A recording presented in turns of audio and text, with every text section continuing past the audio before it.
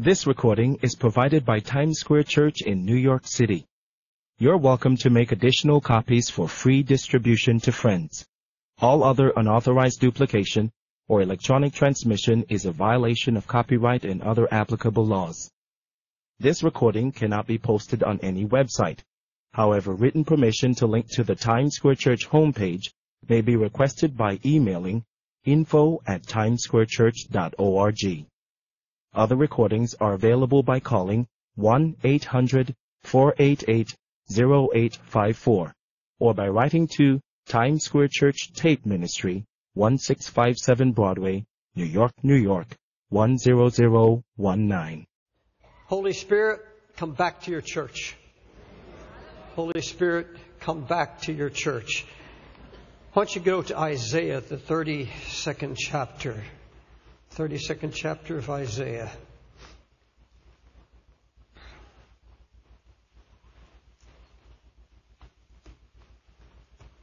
I'm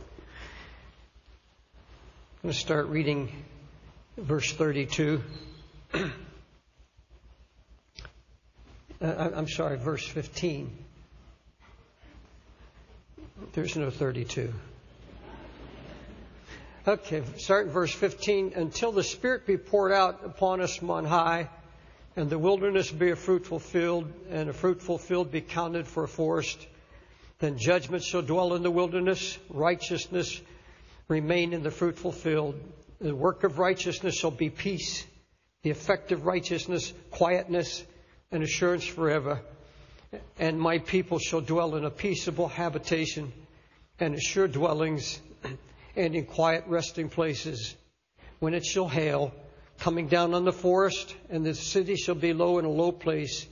Blessed are ye that sow beside all waters, that send forth thither the feet of the ox and the ass. Verse 15, until the Spirit be poured upon us from on high, and the wilderness be a fruitful field, and a fruitful field be counted for a forest.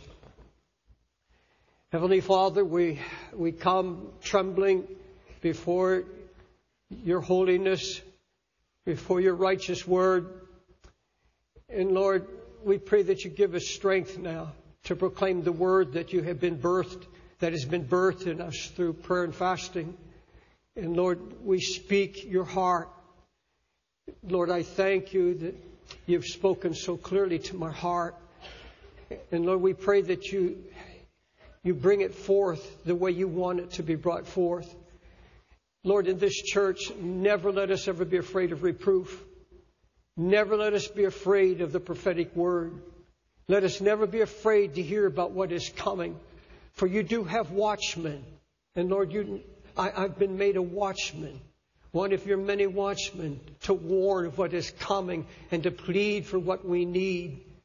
And Lord, we, we we just stand before this people humbly this morning and ask you to bring this forth as you brought it to my heart, alone in the secret closet, to hear the heart of God, to hear what He's saying, to see the church as He sees it, to see what is happening in His mind and in His heart. No man can get that from another man. It can't be gotten from a book or theology. It has to come from the heart of God. And Lord, I believe I've seen something of your heart. And though I tremble, I still rejoice. In Jesus' name I pray. Amen. The question is, are, are, we living in the power, the full power and fullness of the Holy Ghost? Is the church moving in the power and authority of the Holy Ghost? When God birthed His church, He baptized it, He filled it with the Holy Spirit. He poured out His Holy Spirit. And all fruit, all the blessing was to come from the power and the anointing of the Holy Ghost that was on His people. The Holy Spirit was not poured out just as some mass outpouring. It was poured out on individuals. The Bible said every one of them received the Holy Spirit. Every individual. This is an individual matter. Are you walking are you living in the fullness of the Holy Spirit? Is the Church of Jesus Christ in America, and for that matter, the whole world, is it really true Pentecost. I'm not talking about the Pentecostal movement. I'm not talking about the charismatic movement. I'm talking about the genuine outpouring upon all flesh. Is the church, the modern church, the church of today. This church, every church here in New York City, and all the churches we contact and know about around the world. We've been around the world in the past two years and we've seen and, and watched and noticed things that are happening in the church of Jesus Christ. Now, Joel prophesied that when the Holy Ghost comes to the church, there will be prophetic utterance. There will be prophecies. There will be incredible, exciting things happen. Your old men will dream dreams that bring men and women closer to God. Young men and sons and daughters would be prophesying, and there would be visions by young men, visions of Jesus Christ, visions of what is coming, the prophetic visions of the Holy Spirit bringing to the church, warning the church, building up the church. Then in the 32nd chapter of Isaiah, this prophet has an additional view, has additional revelation of what happens when the Holy Spirit comes. And he also tells us what happens to a church when the Holy Ghost departs. Isaiah said, until the Spirit be poured out from on high. And he says, when that Spirit comes, when the Spirit of God is poured out, he's not talking about one time outpouring on the day of Pentecost. He's talking about these refreshings that come from the Lord. He's talking about every generation needing an outpouring of the Holy Ghost. Whether you believe it or not, and I think if you're walking with the Lord, you see the need of it. We need an outpouring of the Holy Spirit as no other generation. We need a new, fresh moving of the Holy Spirit. You and I in this church have seen nothing in comparison to what the Holy Spirit wants to accomplish. We have reached this city in such a small capacity in compared to how He wants, by His Spirit, through His people, to reach cities like New York City. He says, and by the way, this prophecy was first directed to the Israelites under the reign of uh, Uzziah. And it was first focused to that, but it's a dual prophecy also directed to this generation. he says the wilderness, when, when the Holy Ghost comes to a church, that which was a wilderness becomes a fruitful field. And he said it's not going to be a temporary harvest. it's going to grow into a forest. When the Holy Ghost comes, he, he comes onto a barren field where there's no fruit. Nothing is happening. There's death. There's no fruit. People are not really getting saved. And when the Holy Spirit comes, everything springs up to life. Because he's a, he's a life-giving spirit. Everything in the church comes to life. And the fields begin to bring forth fruit. and he said sometimes it grows up to twig to, to small trees and then to giant trees. He said it covers the forest, and that means a continual harvest. you can have cuttings from that year after year after year. Oh, I know of churches that I visited where the Spirit of the Lord came down 50 years, and 50 years later, God is still moving by His Spirit, and God is still working.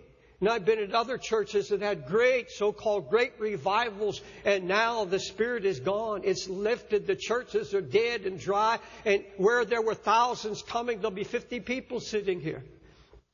No, folks, the Bible says when the Holy Ghost, the prophet Isaiah says that will be fruitful. There will come a message of judgment against sin, the prophet said, and that will produce righteousness.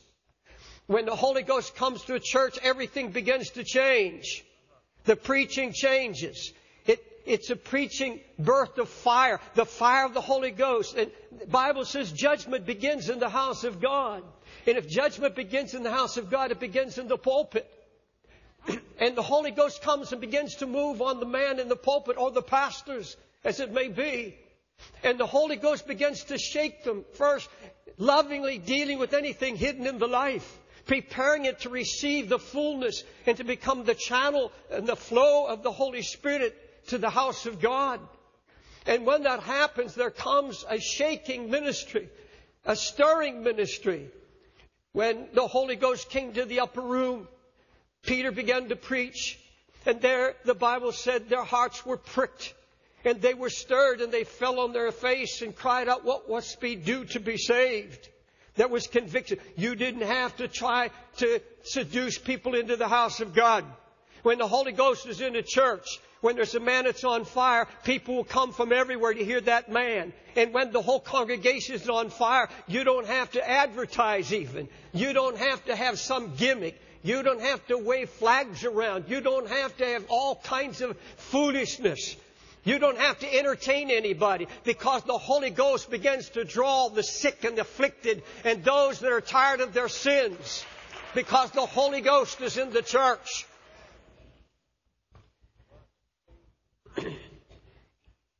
This is the work of the Holy Ghost to convict of sin, righteousness, and judgment.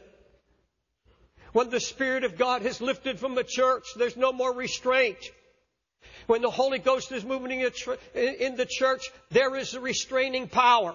Gossipers are exposed. I said gossipers are exposed. Those that have bitter tongues that rise up against leadership. Those that rise up against spiritual authority. Those who touch God's anointed face a death sentence. Just as in the day of Pentecost, I've seen it over and over again. I've seen people die left and right who've touched God's anointing because the Holy Ghost is in the church. Now, if it's not a Holy Ghost church, if there's not men and women of God in the pulpit uh, moving in the power and the anointing of the Holy Ghost, you can sit there and say what you want, get away with it. But you can't get away with it when the Holy Ghost is in the church on the day of Pentecost, there's a lie against the Holy Ghost and two people drop dead. I'm telling you, I've seen it and I know it.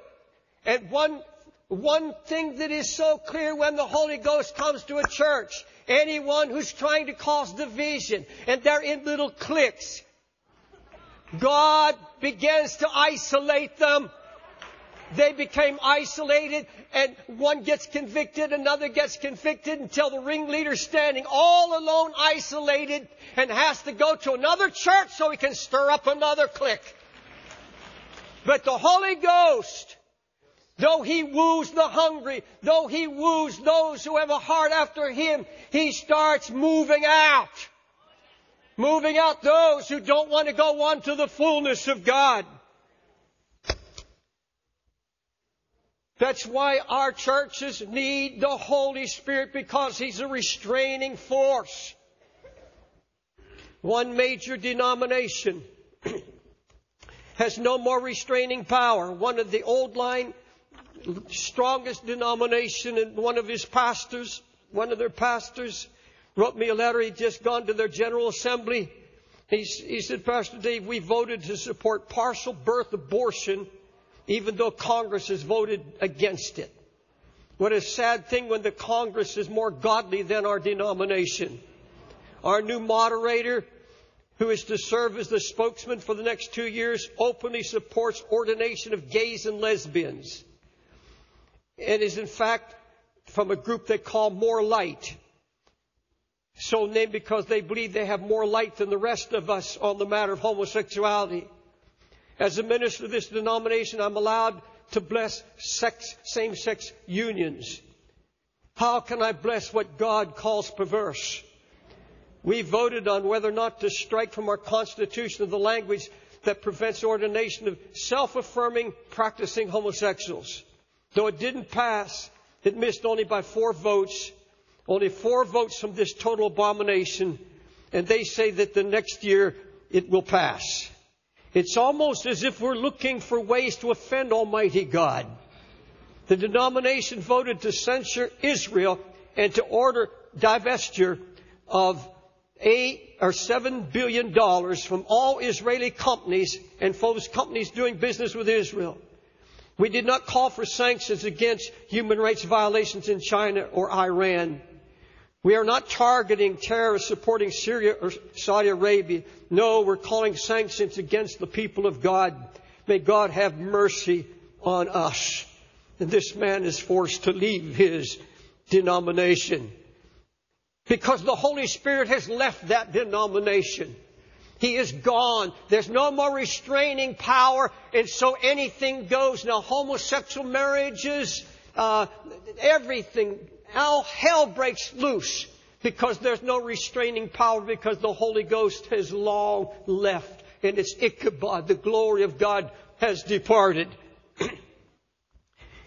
the work of the Holy Ghost when it comes to the church is to do a cleansing work.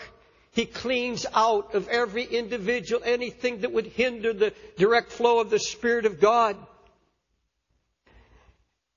The Holy Spirit is the administrator of the peace of Jesus Christ.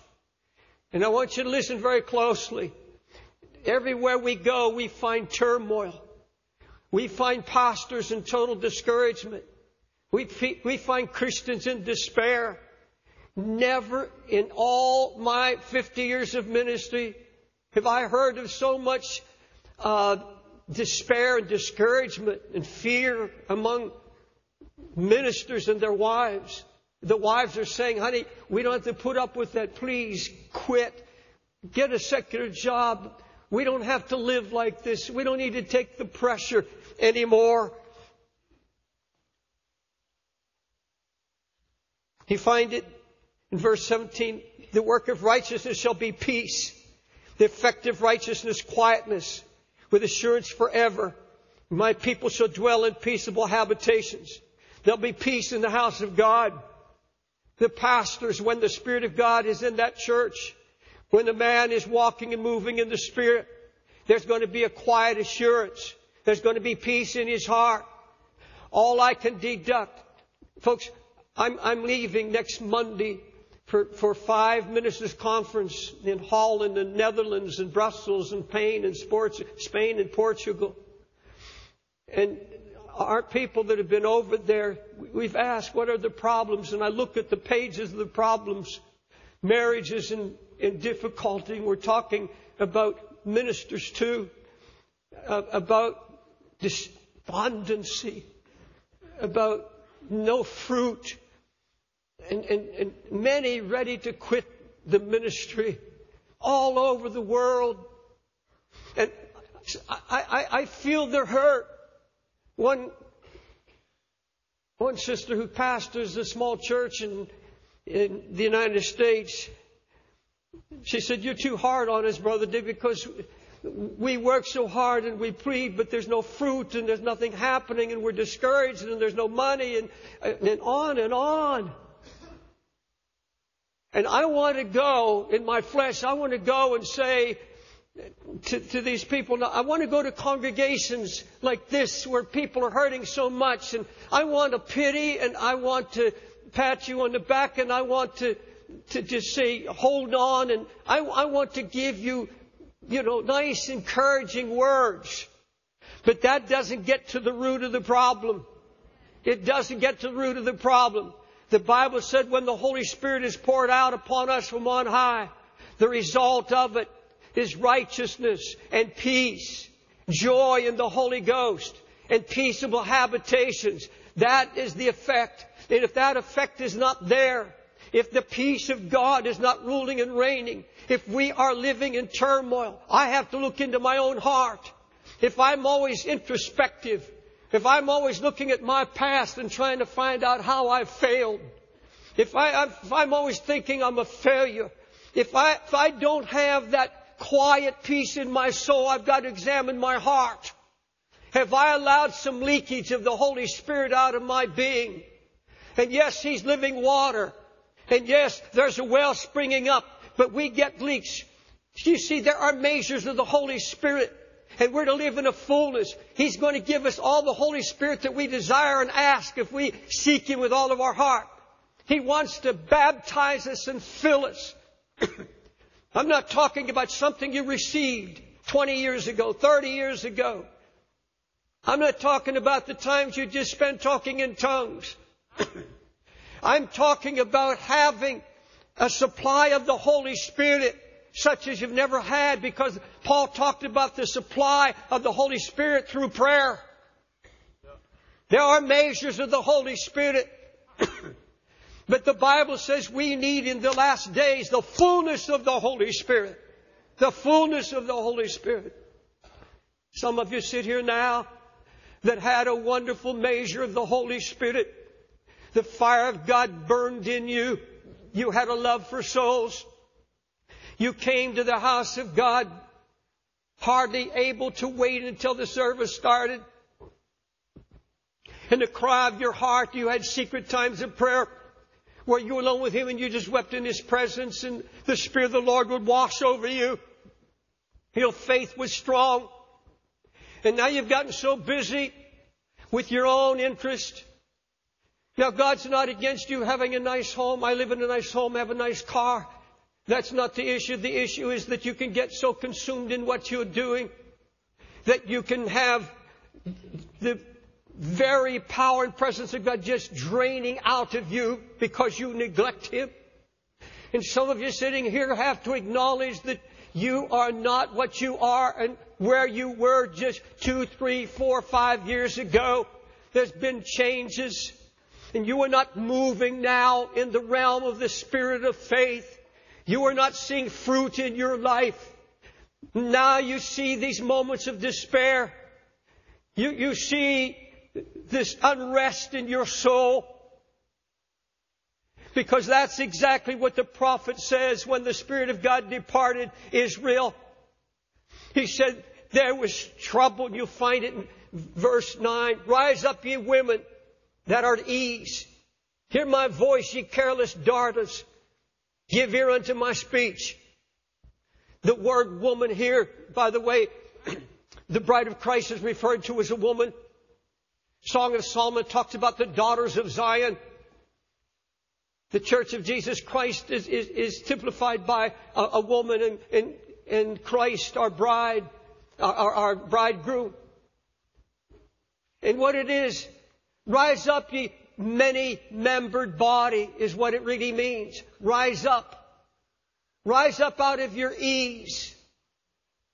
Rise up out of your carelessness. I read it again. Rise up, ye women, or you many membered body that are at ease. Hear my voice, ye careless daughters. Give ear unto me. Many days and years shall ye be troubled. See, he's describing what happens when the Spirit of the Lord is not present.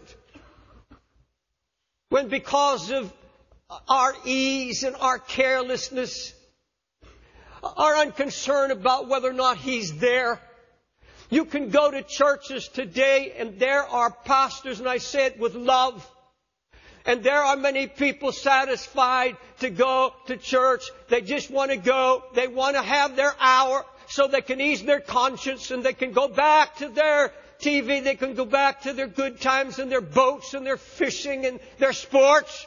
But they put in the time, they paid God uh, some of their dues. But God help us if we don't go to church saying, I want to meet God. I want to know that I've gone, I've heard a man in the pulpit that's touched my soul, that has had the fire and the anointing of the Holy Spirit, and I can bring my backslidden friends, I can bring my children to church and I know that the Holy Spirit will be there. I know that there'll be some fire burning in that church. When the Holy Ghost departs, He said, there's carelessness and ease. Many days shall you be troubled, you careless ones. And the vintage shall fail, the gathering shall not come. Your families are not going to be saved. There's going to be fruitlessness in your life. The vintage is going to fail. There'll be no grapes on the vines. All you're going to see is restlessness, emptiness, discouragement. He says, wake up. The problem is you need the Holy Ghost to return. So I've been baptized, the Holy Ghost is in me. I couldn't be saved without the work of the Holy Ghost. True.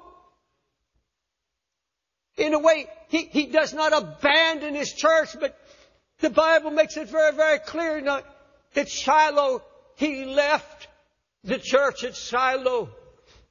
because of its rampant sin, its ease, and its carelessness, its false security. Oh, this nation lives in a sense of false security. We can have the towers fall. We can have thousands die. And it lasts for about a year or so. And then we go back. We go back to our false security. Until finally we get hardened by all the bad news. We get hardened by But you see, the Holy Ghost is the administrator of the peace of God. When He comes, He administers. He gives out. He gifts people with measures of the Holy Spirit. And He comes first and drives away the disturbances. And he grants the peace of mind and the rest of the Holy Ghost that is it, the rest of Jesus Christ. It is the rest of Christ. He said, I'll give you peace, peace beyond any understanding. But it's ministered by the Holy Spirit. Isaiah said, look at the dreadful conditions when the Holy Ghost has gone many days and years. You shall be troubled. There will be regret trembling because of no harvest, vines that are empty, joy that has disappeared. And there will be briars and thorns spring up. These are terrible disappointments. I see these thorns and briars springing up all over the world, everywhere I go. Most, most churches around the world have about 85, a hundred, a pretty large church. Uh, if we have 5,000 pastors, the majority of them are pastoring churches under 100 people. In Europe especially, where we're going. 500 pastors is a, is a big crowd because there's so few pastors now. Churches are closing everywhere. The Catholic Church is closing churches all over the United States. In the New York Times today, there's, there's an argument in Harlem about a, a, a great Catholic church there now they're trying to tear it down and neighbors won't let them tear it down. The Anglican Church in, when we were in England this past year, we were in London that very week, they, they desanctified 12 great churches, I mean buildings, desanctified, in other words, they shut the doors. And they're being sold for nightclubs. They're being sold, one was sold to an occult group so they could have an occult museum. And, and it's awful to, to travel and walk the streets when you have a few hours off and see these big cathedrals and you walk in and you, you, you see monuments to the dead. You, you see magic shows, uh, all kinds of demonic, occult activity in these buildings now. Oh, those praying men at one time that used to cry out full of the Holy Ghost a hundred years ago. What a grief would be if they came and saw what had happened to their houses of worship. You see, the fields will turn blighted. But you see, in, in all in these churches, many of these churches, the, the pastors come to our crusade, our conferences, and they they sit there with a thorn in their side, and they sit they go back and they sit in their congregation. They work among briars, and you know who those thorns and briars are? The, these are people that have been preacher killers for years. There'll be a handful in that church, and I, when I was only 19 years old, my first pastorate, going on 20, I pastored one of those 50 people churches, and my car was a $50 car. My girlfriend Gwen was afraid to, shame to ride in it. So I got a leopard skin thing to hang over the seat. She still didn't want to ride in it.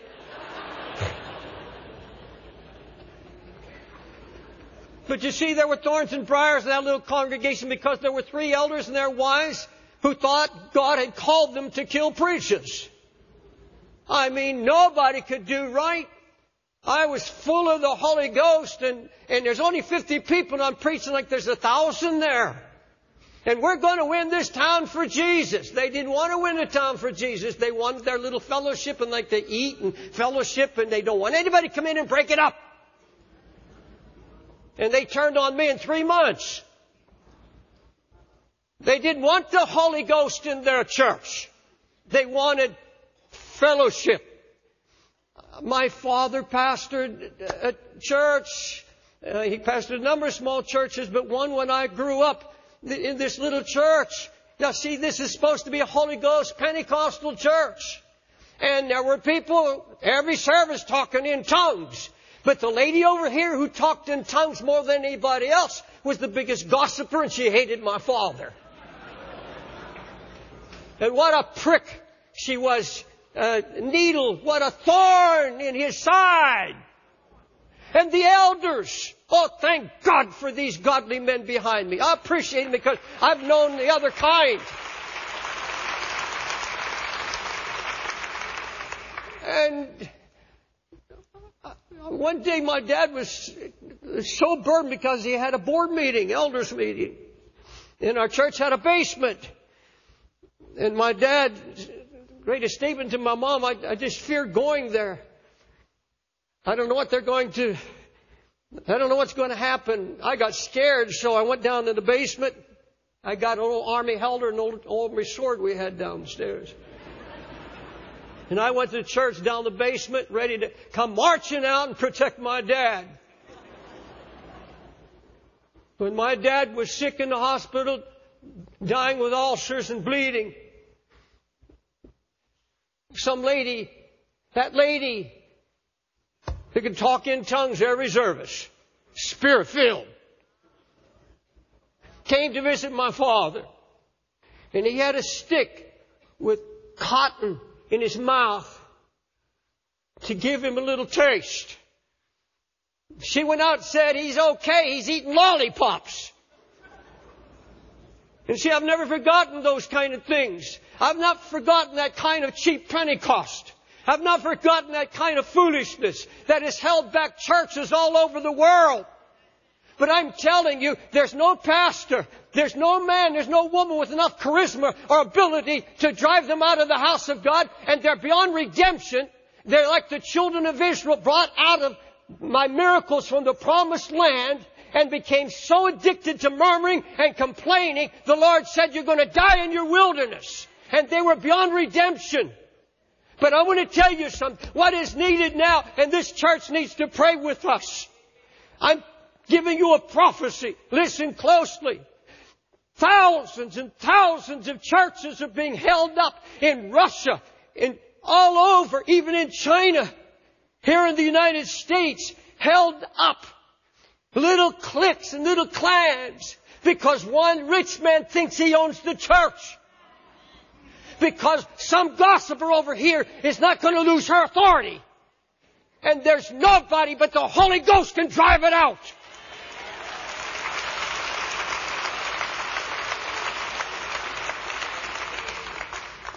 And I'm going to hit next Monday in Brussels and Spain and Portugal. I'm going to hit the ground running. I'm loaded.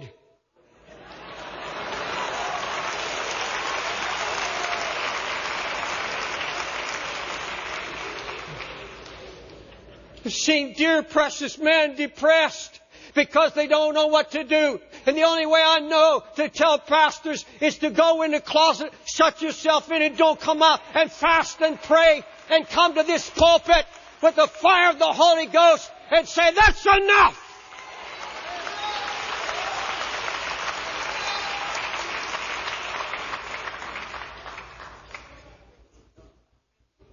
If this is a Holy Ghost church, and I know what it is, uh, it is a Holy Ghost church. If you plan to sit here and keep gossiping, I want you to know your days are numbered. If you're going to try you're going to try to rise up against pastors in this church. I'm telling you, you better have a plot somewhere. You say that's too strong. No, that's the gospel. That's right out of the book of Acts.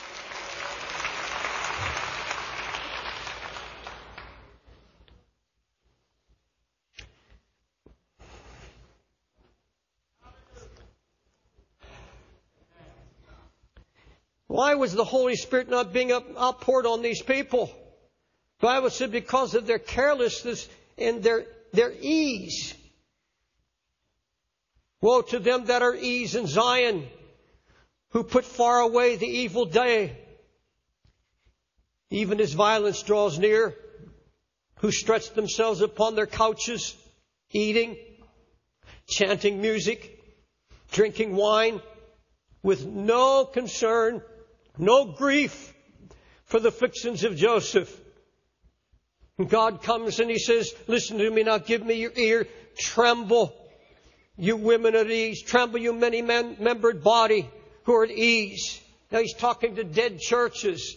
He's not talking to live churches. Thank God there are godly men in pulpits. There are men on fire. There are many wonderful on fire churches and some in this very city of New York. But there's a warning, God's warning to this dead church that's moving in flesh, serving people nothing but hay and stubble. Folks, when the Holy Ghost comes in power and authority, He's going to shut down all ungodly, fleshly, religious television.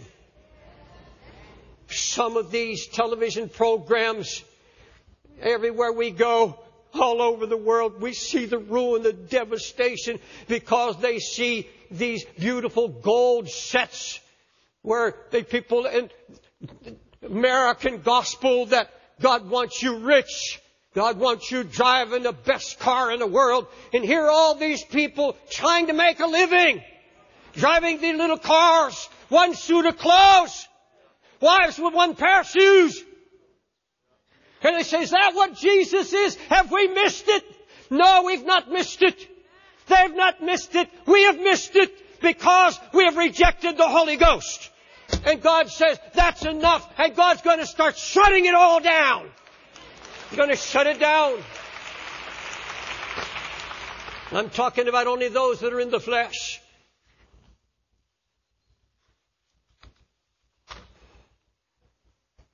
Beloved, my soul is trembling and there's a divine troubling in my heart because I see what's coming very soon. And I want you to listen closely. I'm going to try not to repeat it, but I'm going to tell it to you. All it's going to take is one single terrorist, what they call dirty bomb. It's going to kill hundreds of thousands in less than one hour the whole world will be in panic. I don't know where, whether it's the United States or where. Now listen to me, please. Even Homeland Security in the United States and security forces in all of Europe and other nations around the world have been talking about this kind of blast.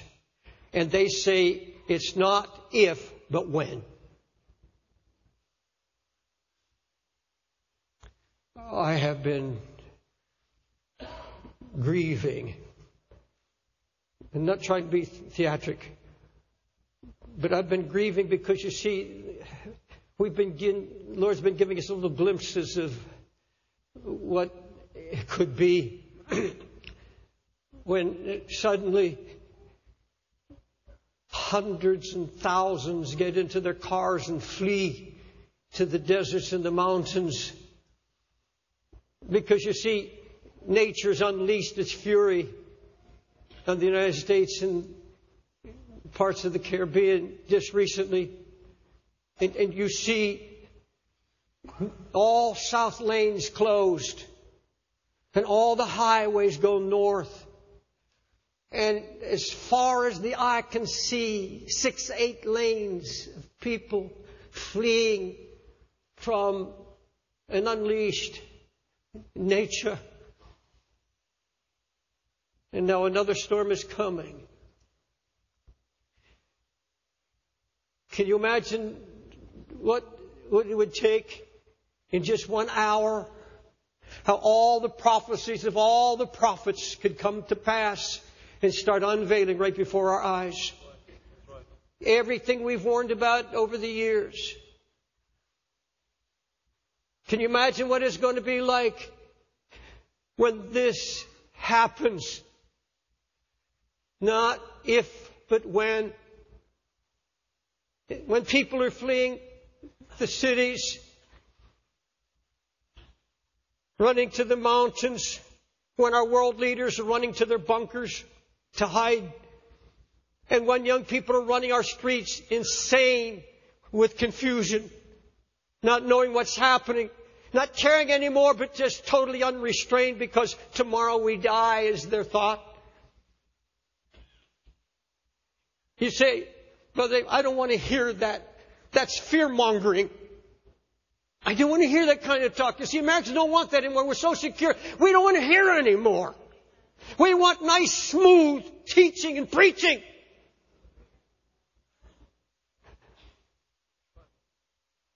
Even some of my friends don't want to hear what I say anymore. But I'm telling you, I am telling you, what, what if I had stood here in this pulpit a month before 9-11 and I said, I see coming an attack upon the Twin Towers. And in one hour they're going to come to the ground and our Pentagon is going to be stricken. There'll be a attempt on the White House, but the plane will go down somewhere in Pennsylvania. And these are going to be terrorists, and there are going to be thousands dying, and this city will be turmoil, and people, people all over the world will be weeping. Would you have believed it? Would you have believed it? What would you have called it? Would you call that fear mongering? It happened. I'm going to Spain next week. Week after next. If I had stood there and told them that their country had never known that kind of thing before, but now you're going to see hundreds dead, a terrorist attack, they wouldn't have believed me. If I'd been in Russia, where Pastor Carter is now, and, and been in the ministers' conference and had a a couple thousand Christians, and I say, You're all going to be weeping soon because 300 of your precious children are going to be blown away, murdered. Would anybody believe it? Yes, see, folks, I, in my flesh, I don't want to hear it either. But the, Isaiah says, Rise up, ye many membered body at her ease and hear my voice, ye careless daughters, and give ear to my speech. Many days and years you're going to be troubled. The vintage is going to fail. The gathering shall not come. Begin to tremble. You're going to be troubled. Strip you and make bare. You're going to lament.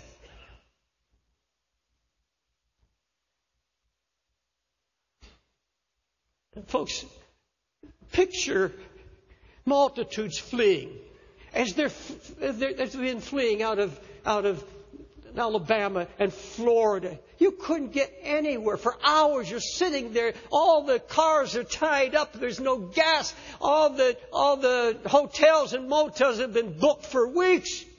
And just driving on not where, nowhere to go. Folks, when this happens, where will the church be? How many people are going to, how many pastors would be worrying about church growth? How many of us are going to be sitting around talking about our aches and pains? How many of us are going to do a small talk? How many of us are going to be on, on a telephone gossiping? How many of these things that we do uh, that have to do with carelessness, how much of that's going to continue?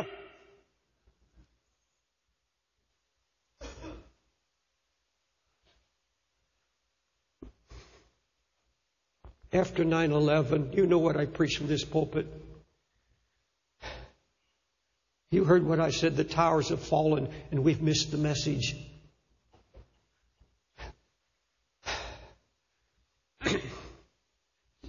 just a warning, a foretaste. And here he says, verse 19, and when it shall hail coming down on the forest and the city be laid low. In, in, the, in the Hebrew there it says, when, when nature release, unleashes its forces. When nature releases its forces. Who rules and reigns over all forces of nature? God. He rules all forces. God has never in history judged a people without warning after warning after warning because He's a loving God and He cares. And he, folks, where are these fleeing people? Where are these people in a time when the markets crash and the time when when the only thing that matters to most are survival and there's people are going insane with fear where's the church how many are going to run into the churches and what are they going to find there what are they going to find? Are there going to be elders there coming in and deacons and there going to be people just like you, me, that are come into the church? And are you going to have a supply of the Holy Spirit? Because you see, the issue comes down to this. It, it's not how many thousands you have in your church, how much money you had in your church. It doesn't matter how, how prosperous your church looks. Has there been a supply of the Spirit? In these days, the only question is going to be, do I have a sufficient supply of the Holy Spirit?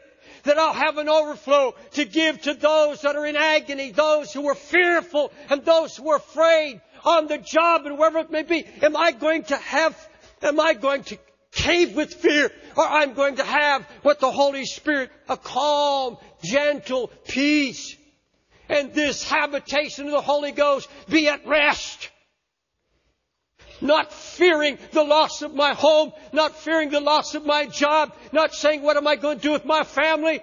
That's what Israel said to God. You brought us out here and you abandoned us and you're going to destroy our children. The Lord said, no, because of your belief, you stay here and I'm taking your children in.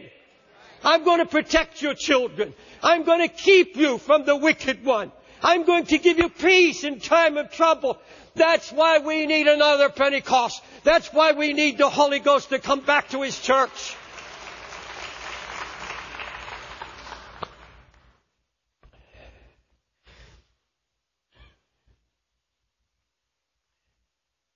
Until the Spirit be poured upon us from on high, and the wilderness become a fruitful field, and the fruitful field be counted for a forest.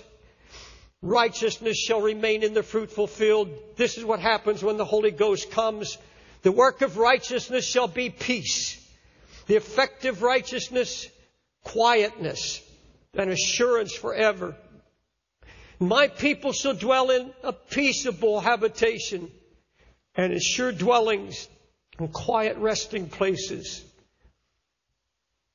My people will dwell in safe houses what is that safe house? In heavenly places in Christ Jesus. Folks, you've got to understand that and know that. The Holy Spirit is given only to those who ask in faith.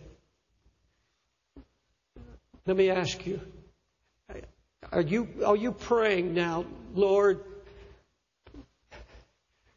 fill me with the fullness of the Holy Spirit. Give me a full supply of the Holy Spirit. That's been my daily prayer now. I, I get alone with Him and pray, Oh, Holy Spirit. Yes, I know you abide in me. But I want the fullness. I want a supply. I want you, Holy Spirit, to draw me so close to Christ now so that all these other things the ambitions of the world, all these things. You have to work. You have to do your job. You have to be faithful. Any man who provides not for his household is worse than an infidel. You have to provide. You have to do these things. But you can't let your heart stray. There has to be that constant daily cry all through the day. Oh, Holy Spirit, be poured out upon me from on high. When that Spirit of the Lord comes, you by faith pray for that. He will keep you cleansed. He, he is the sanctifier. The Holy Ghost, the Spirit of Christ is the sanctifier. He's the one who keeps you from wickedness. Jesus told Peter, who was sleeping in the garden, he said, Watch and pray lest you enter into temptation. He knew they're going to need the Holy Spirit. They slumbered and slept until the Holy Spirit came and awakened them. You need it, and I need it.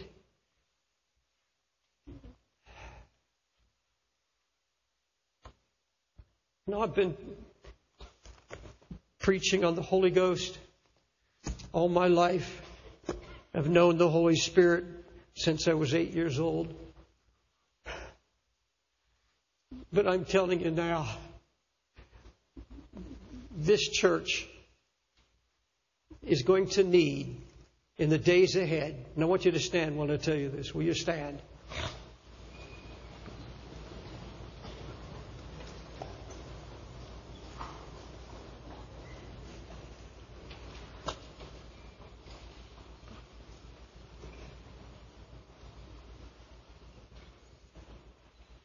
This church is going to need that every individual, every individual be seeking the Lord for a fullness.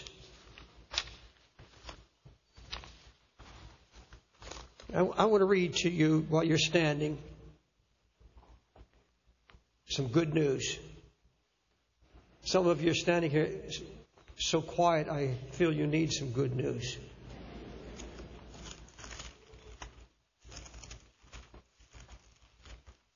I'm reading to you from Isaiah 44. You don't have to turn there. Hear ye now, Jacob, my servant, and Israel, whom I have chosen. Thus saith the Lord that made thee, and formed thee from the womb, which will help thee. Fear not, O Jacob, my servant, and thou Jeshurun, or Jerusalem, whom I have chosen. I will pour water upon him that's thirsty, floods upon dry ground. I will pour my spirit upon thy seed. See, we are the seed of Christ. And my blessing upon your off, offspring. They shall spring up as among the grass, as willows by the watercourses. Here it is. I will pour water upon him that is thirsty. Floods upon dry ground. My spirit upon thy seed. I will pour out my spirit. I want to read to you one more passage of Scripture in the New Testament in the book of Jude. I'm reading to you from Jude 17 through 21. Hear the word of the Lord. Beloved, remember you the words that were spoken before of the apostles of our Lord Jesus Christ. How that they told you there should be mockers in the last day who should walk after their own ungodly lust. These be they who are separate, sensual, having not the Spirit. But you, beloved, building yourself up on your most holy faith, praying in what? The Holy Ghost. Build yourself up in your faith, praying in the Holy Ghost. Hallelujah. Blessed be the name of the Lord. Folks, can you rejoice? I, I have to bring. Uh, I, have been, I listened this uh, yesterday. Someone gave me a tape copy of a prophecy I gave in Sweden a few months ago. God's controversy with the Evangelical Church of Sweden. And folks, it just, it, was just about like it is here now, so quiet you can hear a pin drop. But that prophecy has gone all over Sweden. And uh, people everywhere, there's weeping and brokenness. They're calling for prayer meetings, and God is doing a great work. And they gave me a copy yesterday, and I listened to it, and I just sat there and wept. So, God, I know that was from you, heart. I know. And I know that I know that what I share with you this morning is the heart of God. And so it's, it, it's hard because there's fear grip our hearts. But he said, I've not given you that spirit of fear. If you're, if you're standing here now and you're afraid, you didn't get it from the Holy Ghost. Because he said, when men's hearts are failing them for fear, he's going to have a people who are rejoicing because they know who they are in Christ and they're not afraid. They have no fear, they have no bondage.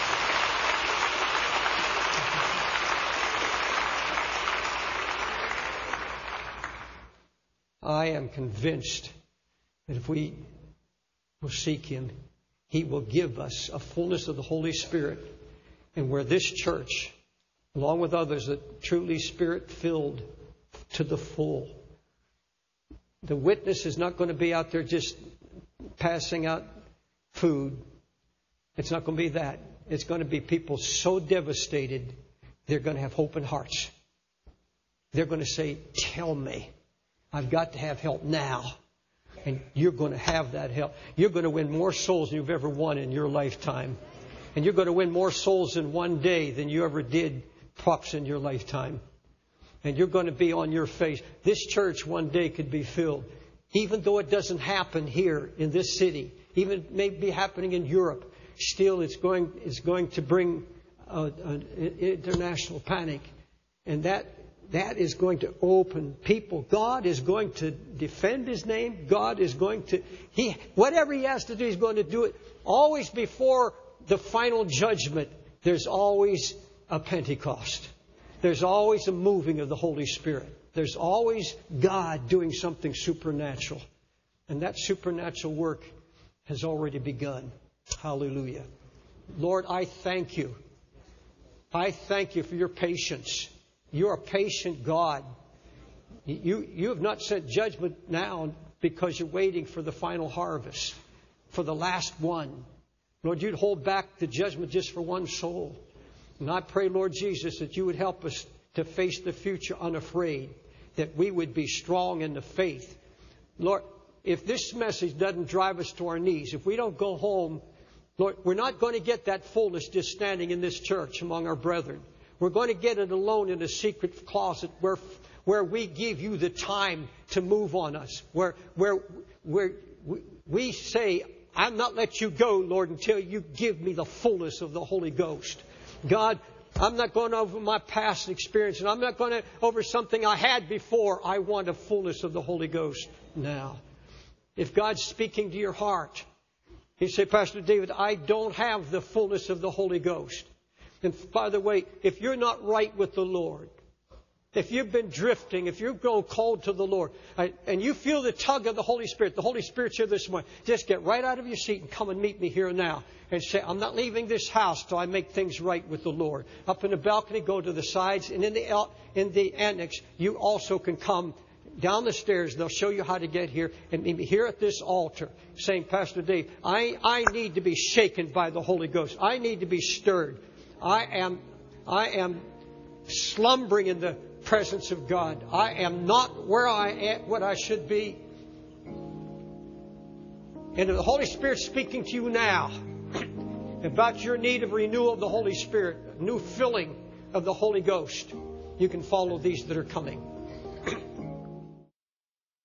I read from Isaiah 43. Now saith the Lord, I've called you by your name you are mine. When you pass through the waters, I'll be with you. Through the rivers, they shall not overflow you. When you walk through the fire, you shall not be burned, neither shall the flame kindle upon you. I am the Lord your God, the Holy One of Israel, your Savior. You're precious in my sight. Fear not, for I am with you. I will bring thy seed from the east and gather thee from the west. Glory be to God. I believe the word of the Lord.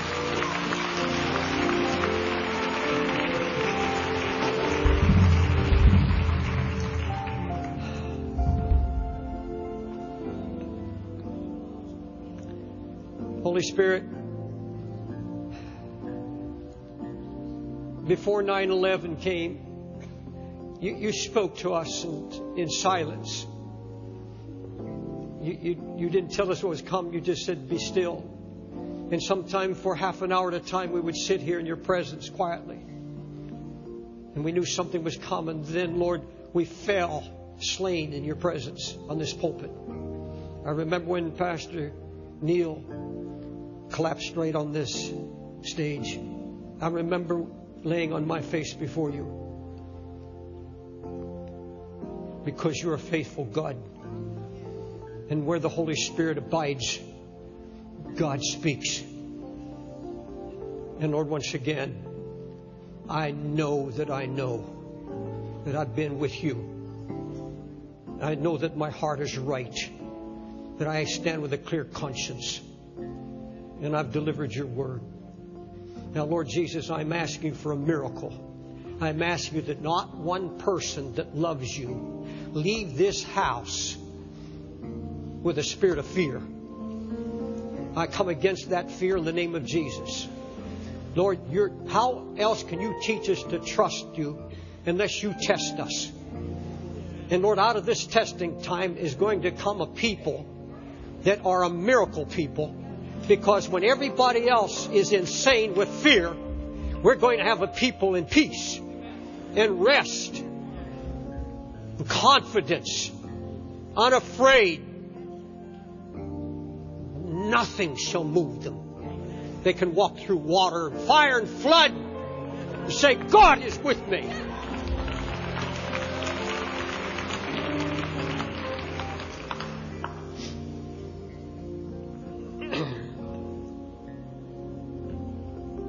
I've had people uh, meet me after service like this and say, Brother Dave, I just don't know how to react, react to that kind of preaching. You don't have to react to me. I'm just a messenger. If you could know the trembling in my soul. And always, when I preach like I risk the chance of a lot of people just getting afraid. But that should say, if you're afraid, that should say something to your heart. I need faith. I need faith. I need to trust you, Lord. I need to be able to say, Come what may, Lord, I'm yours. You that came to the altar, will you lift up your hands? Will you pray this prayer with me now? Lord Jesus, I give you my fear, my distress, my discouragement. Oh, Jesus, my unbelief, I surrender to you. Oh God, fill me with the Holy Ghost. Fill me. Fill me to the fullness. Drive all fear out of my soul. Put a joy in my heart because I trust you. Hallelujah. Just, just thank Him now. Lord, I thank you. I rejoice in you. I rejoice in you. This is the conclusion of the message.